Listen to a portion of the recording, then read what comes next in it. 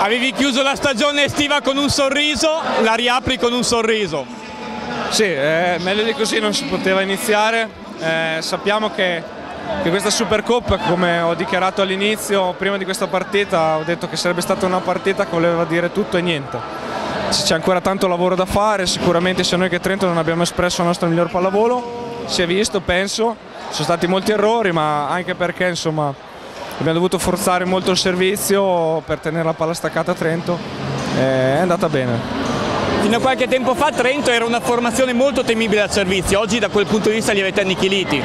Beh, lo è ancora, diciamo che stasera sicuramente non è girata come al solito, per fortuna per noi. Eh, invece siamo stati molto bravi noi, abbiamo commesso qualche errore, però insomma ci stava, con loro bisogna rischiare un po' di più. Da Modena sei partito per Londra, sei tornato con un bronzo, a Modena vinci la Supercoppa? Sì, dicevo alla, conferenza stampa, ho detto che Modena mi porta bene, speriamo che continui così, non so se il V-Day, non c'è più il V-Day, finale Coppa Italia speriamo che lo organizzino Modena.